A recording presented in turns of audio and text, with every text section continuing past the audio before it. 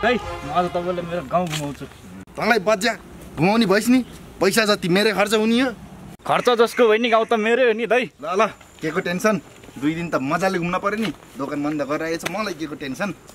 दोकान त बन्द गरियो दाइ घाटा त खाने होइन। घाटासाटाको कुरा छोडिदे त मेरोमा काम गर्ने भयो भने तँलाई मैले मेरो भाइ जस्तो सोचेको छु। हो दाइ हो तपाईँले एकदम माया गर्नुहुन्छ मलाई।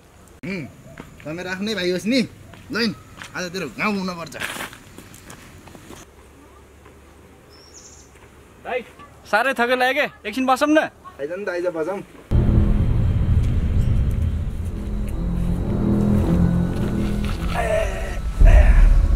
ए तेरो गाउँ त आइयो। ल त सेल्फी आनु सेल्फी।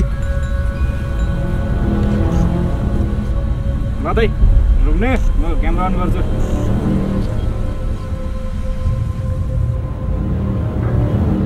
ल सेल्फी दाइ। हिँड्यो। हिँडेर भुल्नु हुँदैन